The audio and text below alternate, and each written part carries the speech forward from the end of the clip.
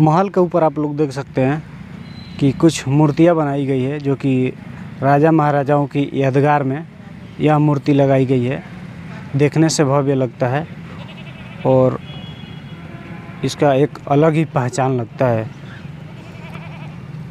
यहाँ पे आप लोग देख सकते हैं कि इसको अभी कॉलेज बनाया गया है, जिसका नाम है Maharani Poonam Shahi B Ed college Hathua Gopalganj. यह गोपालगंज के अंतर्गत आता है। नमस्कार दोस्तों, स्वागत करता हूँ आप सभी का फिर से एक नए ब्लॉग में। दोस्तों, आप लोग देख सकते हैं पीछे एक महल दिखाई दे रहा है। यह कोई मामूली महल नहीं है। एक ज़माना हुआ करता था, जिस टाइम इस महल में राजा और रानी और उनके बहुत सारे सिपाही, नौकर चाकर इस हवेली में, इस महल में रहा करते थे। गोपालगंज ज़िले के हथुआ राज की कहानियाँ, बहुत अनसुनी कहानियाँ हैं। बहुत सारे लोग सुने भी होंगे और जानते भी होंगे। इसके बारे में ख़ास बात मैं बताऊँगा।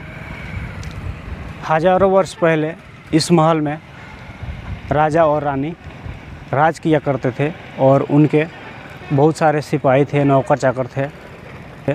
समय बीतता गया और वो लोग इस दुनिया को छोड़कर चले गए और उनके वारिस अभी भी हैं यहाँ पे।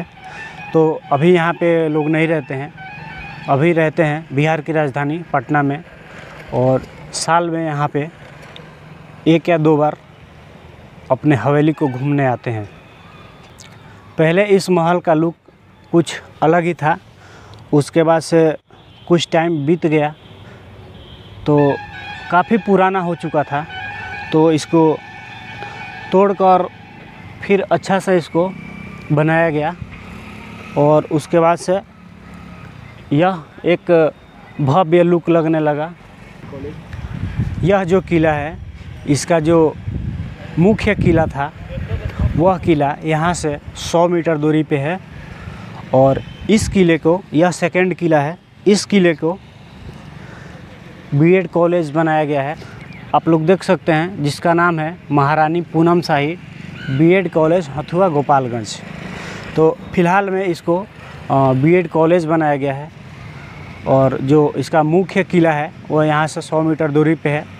इस किले से कई गुना ज़्यादा वह किला भव्य लगता है देखने से। तो मैं कोशिश करूँगा कि उस किला का भी आप लोगों को वीडियो दिखाऊँ। एक समय हुआ करता था जब हथुआ राज का नाम दूर दूर तक लोग जानते थे। अपने ज़माने के लिए हथुआ राज एक अलग ही पहचान बनाता था। इस हवेली की बात करें तो न जाने इसमें कितने कमरे हैं और न जाने कितने खिड़कियाँ हैं। और अजीबो गरीब इसमें वस्तुएँ मिलेंगे जो कि पुराने ज़माने का सब वस्तु अभी तक रखा गया है इस हवेली में। और यहाँ पे टूरिस्ट की बात करें तो लोग दूर दूर से घूमने के लिए आते हैं।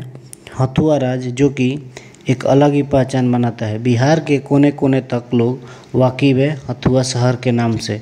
जो कि मुजफ्फरपुर, छपरा, पटना, गोपालगंज में हथुआ नामक जगह और हथुआ शहर और हथुआ मार्केट स्थित है। दोस्तों, इस जगह पे कई सारे मूवी और कई सारे सीरियल का भी शूटिंग हो चुका है। जैसे Bhojpuri movie, Hindi movie, Hindi serial, Bhojpuri serial और मैथिली भाषा का भी यहाँ पे सीरियल और मूवी शूटिंग हो चुका है। यह जगह बहुत ही सुप्रसिद्ध है। सिवान ज़िले और गोपालगंज ज़िले से महज 15 किलोमीटर दूर पर स्थित हथुआ राज एक अलग ही पहचान बनाता है, जो कि छपरा से पचहत्तर किलोमीटर की दूरी पर हथुआ राज बसा हुआ है। दोस्तों, हथुआ के नाम से बहुत सारे सुप्रसिद्ध जगह और बहुत सारे लोकेशन आप लोगों को इस चैनल के माध्यम से मिल जाएगा। दोस्तों, उम्मीद करता हूँ कि यह वीडियो आप लोगों को अच्छा लगा होगा तो लाइक कर दीजिएगा, कमेंट करके ज़रूर बताइएगा।